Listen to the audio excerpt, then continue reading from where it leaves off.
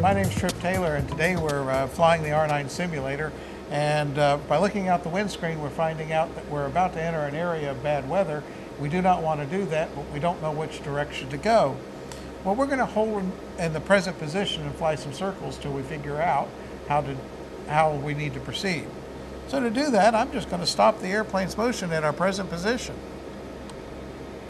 and be in a, enter, my, enter a hold by going present position, create a new waypoint, fly direct to it, and here we go. Now we'll fly circles. And in order to continue flying circles, I'm going to create a hold. And now when we get back to our position that we just left, we'll enter a hold and stay in that relatively small area of airspace until we can figure out a safe path that'll take us away from the incoming inclement weather.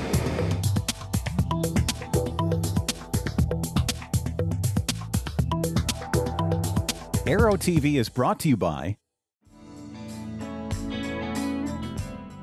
If you own a Cirrus today or if you are considering the purchase of a new or used aircraft, consider this.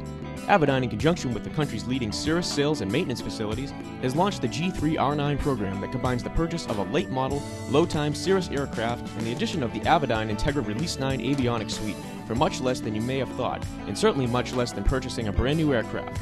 G3R9, combining the best airframe, best engine, and best avionics for the best value.